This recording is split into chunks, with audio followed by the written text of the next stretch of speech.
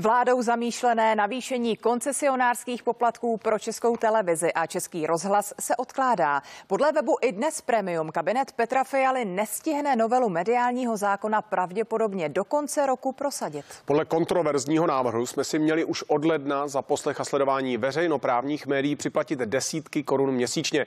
Konkrétně za televizi bychom platili 150 korun a za rozhlas 55 korun. Ředitel České televize už dřív prohlásil, že pokud se poplatky nezví, zvýší, propustí 350 zaměstnanců a omezí původní tvorbu.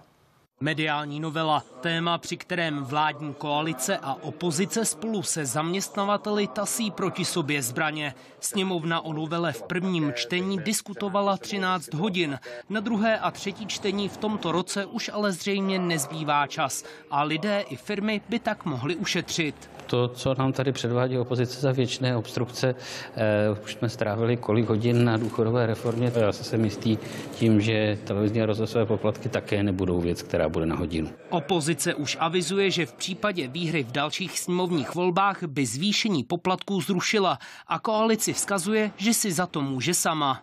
Budíž důkazem je takzvaná důchodová reforma, kde vláda tam sama sama k sobě dává pozměňovací návrhy, čímž překvapí tu druhou polovinu koalice, která o tom nevěděla, takže se to různě prodlužuje, protahuje. Ještě máme před sebou rozpočet na rok 2025, nejdůležitější zákon. Prostě na to není čas, prostor a je vidět, že i ta koalice to vzdala. Možná už vládní koalice začíná váhat s tím, jestli takovou tu novelu vůbec prosadit, protože eh, podle našeho názoru to je naprosto neadekvátně neakceptovatelné, aby, aby platil každý držitel chytrého telefonu nebo dokonce firmy podle počtu zaměstnanců, aniž by se řešilo, co ti zaměstnanci dělají. Podle politologa Lukáše Jelínka dohady okolo mediální novely ukazují, kam se vláda svými kroky ubírá. Myslím si, že ehm, to komplikované schvalování mediální legislativy je naprosto symbolické pro Fialovou koalici a pro její úpadek, který sledujeme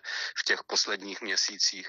Šéf poslaneckého klubu ODS Marek Benda ale předpokládá, že mediální novelu koalice prosadí na začátku příštího roku. Zákon by pak podle něj mohl začít platit k prvnímu dubnu a to by znamenalo už jarní zásah do rodinných a firemních rozpočtů. Redakce a Josef Mádle, CNN Prima News. Hlavní zprávy jedou